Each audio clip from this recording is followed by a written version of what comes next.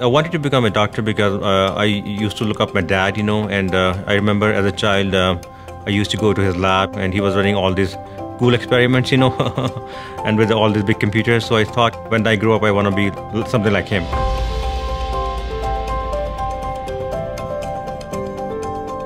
So after I graduated from the medical college, I wanted to go for higher education, you know, and I thought the best place for that would be America. So I finished my medical training in Chicago in 2005, and I wanted to do the primary care because I thought it was challenge my mind and I bring the best out of me. Okay, so I really did that, enjoy that for four years, and then I decided to maybe become a little bit more specialized, and so I take care of the people with kidney diseases. Okay, most of the cases we see are somewhat challenging, you know, because they have been sent to us by another provider.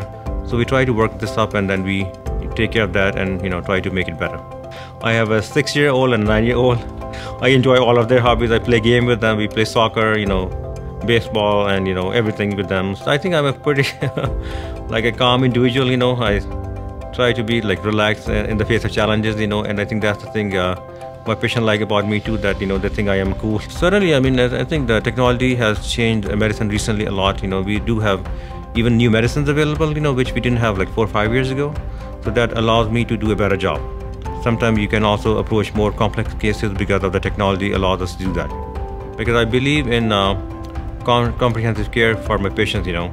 It provides me uh, uh, ability to take good care of them and I think uh, I will recommend Beacon for that.